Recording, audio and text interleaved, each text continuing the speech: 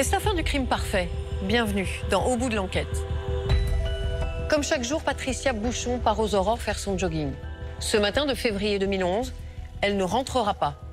Alors accident, enlèvement, c'est le début d'une longue enquête et d'un emballement médiatique rare. Avec le professeur de criminologie Alain Bauer, nous décrypterons ces rebondissements. Affaire Patricia Bouchon, Jogging mortel, c'est un film de Cécilia Frogeman.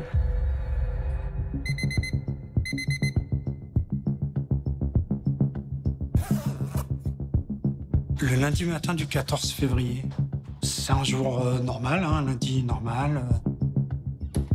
Patricia était partie courir sûrement très tôt. Moi, je, ça m'a même pas réveillé. Donc euh, voilà. moi, je me lève normalement, euh, pareil, le petit rituel, tout top. Et je la vois pas arriver quand même. Alors je commence à jeter un petit œil par la fenêtre. Qu'est-ce qu'elle fait, quoi? Le temps passait et ça me semblait. Et plus il passait, moins j'étais bien. Je me suis dit, il y a un truc, il y a, quelque chose, qui va pas. Je monte dans, ma voiture, je pars en ville et je vois rien. Évidemment, il fait nuit, euh, au mois de février. Euh, je rentre à la maison, j'appelle la gendarmerie. Vers 6 euh, heures, monsieur Christian Bouchon va appeler le centre opérationnel de la gendarmerie pour signaler en fait que sa femme, Patricia, est partie faire son jogging, qu'elle aurait dû revenir à 5h30 et que sa femme n'est pas là. Donc il est très inquiet et il ne comprend pas ce qui se passe et c'est pas normal. La gendarmerie arrive. Donc ces deux gendarmes là, ça doit se sentir. Ils voyaient bien que j'étais quand même monstrueusement inquiet. Puis c'était et puis la normalité de ma femme qui carrait à la minute faisait que mon inquiétude était d'autant plus forte. C'est logique, quoi. Mais pour les gendarmes, pas parce que ils, connaissaient pas. Et c'est là où ils, m'ont posé la question euh, piège euh, où elle va d'habitude? Et ça, je savais pas, quoi. C'est monstrueux. Je savais pas où courait ma femme. Ce qui nous étonne de prime abord, c'est euh, qu'une personne puisse aller faire un footing en race campagne à, 4 heures du matin. Monsieur Bouchon, il a du mal à décrire euh, la tenue vestimentaire. Il sait pas comment est, partie sa femme ce matin-là. Patricia Bouchon, ce matin-là, quand elle est partie, elle, elle avait rien sur elle. Elle avait euh, sa tenue de jogging et, son trousseau de clés, et, et c'est tout. Tout le reste, son téléphone, ses papiers, etc., tout ça était chez elle. Quand ils arrivent, en fait, la maison, euh, elle est euh, d'une propreté, on pourrait manger par terre, je dirais. Le lit est refait, tout est propre. Monsieur Bouchon va expliquer de façon euh, très pragmatique que c'est sa femme qui ne supporte pas en fait qu'on laisse traîner les choses et qu'ils ont pour habitude dès qu'en fait ils partent même très tôt que la maison soit dans un état de propreté vraiment extrême. Rien de suspect pour lui, des interrogations quand même pour nous. On va lui demander euh, des objets appartenant à sa femme pour pouvoir faire prendre après euh, la piste avec un chien de, de, piste. Et euh, il a du mal à nous trouver des affaires même qui ont l'odeur parce qu'il a déjà tout mis à la, à la machine et que donc voilà, c'est des choses qui interpellent. Vous avez rien pour les aider.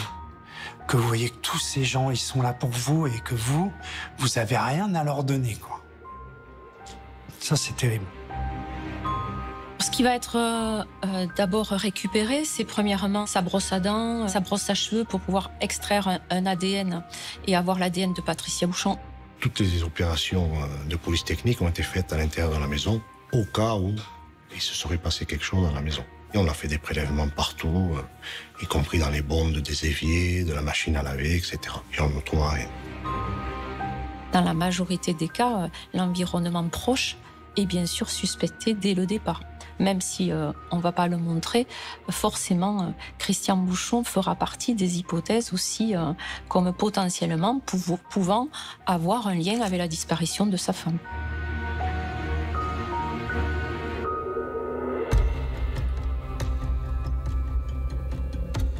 On va commencer à faire un environnement de Patricia Bouchon. Donc, elle est mariée à Christian Bouchon. Depuis 2008, ils habitent sur Boulogne. Ils ont une fille, euh, Carline, qui est née en 87. Elle travaille dans un cabinet d'avocats et son mari euh, travaille pour euh, un magasin de matériaux et il s'absente régulièrement la semaine et il se retrouve le week-end. Une disparition inquiétante comme ça, c'est toujours, c'est toujours une course contre la montre parce que tant qu'on n'a pas la certitude euh, du devenir de la personne disparue, euh, on peut toujours imaginer qu'elle est vivante, qu'elle est séquestrée quelque part. Beauloc, c'est un, c'est un tout petit village. C'est juste à côté de Toulouse. Il doit y avoir 4000 habitants. On va faire un, un quadrillage autour du domicile et on va élargir, comme on dit, euh, la surface des, des- des- des recherches. Euh, Des recherches euh, très très opérationnelles, les fossés, euh, mais également les établissements hospitaliers, les cliniques, tout ça s'est fait très rapidement. Et on monte en puissance, les unités arrivent d'un petit peu partout. Il y avait deux escadrons de, gendarmerie, ce qui représente à peu près 200-250 personnes. Il y avait les équipes sinon, il y avait des équipes subaquatiques, des moyens aériens. On va établir une fiche avec sa photo. Et en fait le- les gendarmes de Fronton vont faire du porte-à-porte. Le but, ça va être en fait d'essayer de trouver des témoignages immédiatement qui nous permettent d'accréditer la version de euh, Christian Bouchon, c'est-à-dire est-ce que sa femme a bien quitté le domicile comme il a dit?